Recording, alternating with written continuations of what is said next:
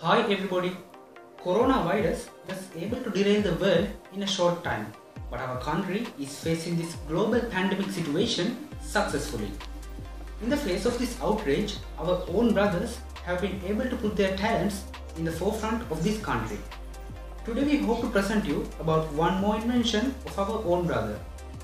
Sanitizer is an essential thing which we hear about these days and which is so useful for the eradication of the germs which spread the coronavirus among the society.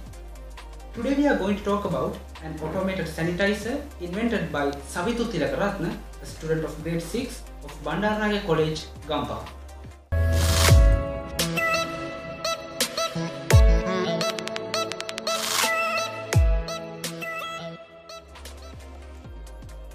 My dear friends, in this coronavirus outbreak, most people infected by COVID-19 in my country.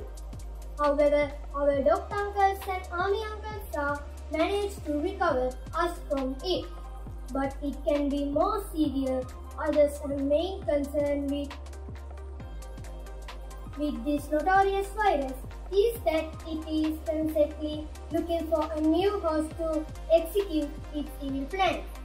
But worry not my friends, I made an innovation called homemade sanitizer, which protect ourselves, our loved ones, our school and the world.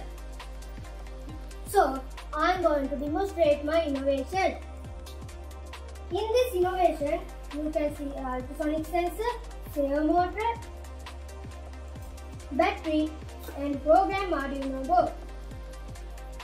Now let's see how it works.